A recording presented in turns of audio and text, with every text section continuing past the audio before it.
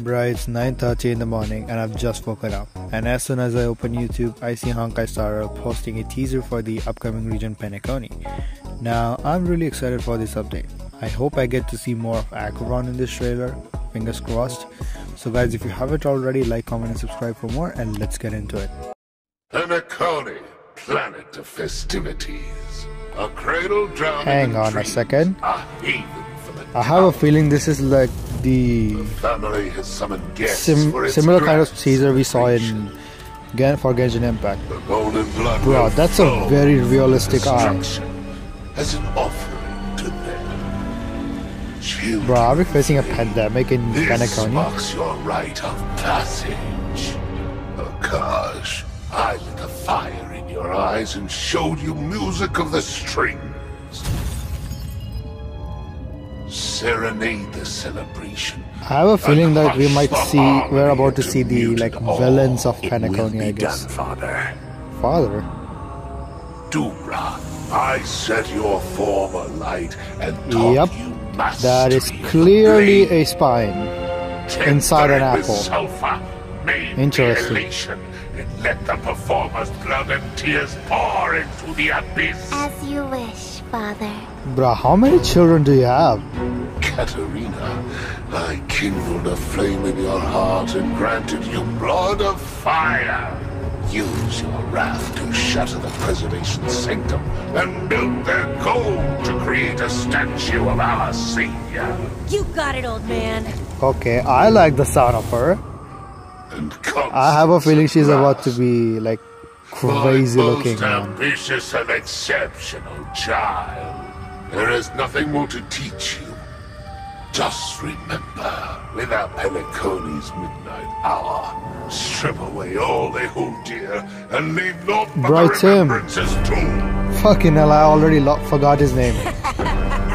Whoa. She won't be necessary. I can take them alone. Okay, Cat okay, okay, I see, I see here. Bruh, this is not even making inside the game. I can guarantee that. You're looking at this character right now. She is not making inside the game. I definitely can assure you that. Like seriously, are you seeing this what I'm seeing on the screen right now? Man, given that this could be a design for this character, I can definitely be sure that by the time she comes out, she's not gonna be the same as we see right now. Katerina, a little Ooh. pessimism might be wise. Man, back to back. What if we all end up dead? Whoa, a succubus? Okay, so we got two look two hot new characters. Since when have those on the path of destruction Damn. dead? Beautiful cello right there, my guy. Still, it is wise to plan ahead, Father. Oh. Oh, so she's a puppet, eh? What is our fallback if things become perilous? Um, I have a feeling that uh, Honkai Star Rail is Such a thing about to not become a horror game or something with that Destruction is character. brave yet heroic. To cling to life is to delay in cowardice. Bro, I'm so excited for this. The first two ladies that we saw. savor its invitation. Prepare this beautiful dream to welcome its new master from Fedora. Bro, what was this guy's name? I forgot already. Ifrit, Yeah, Duke Inferno. Ever flame. Oh, that's it? Hey, bro, this is starting to heat up now. I seriously did not expect Duke Inferno to be a bad guy, but that's just a hypothetical theory I, I think I'm crafting right now. So we've got a tomboy and a succubus coming to the game as bad guys. Cause I'm not sure if they'll be playable or not. Cause if they're going to be playable, they have to go through some serious censorship. And about this guy, it doesn't look that interesting apart from that they chose a really great design for the cello right here.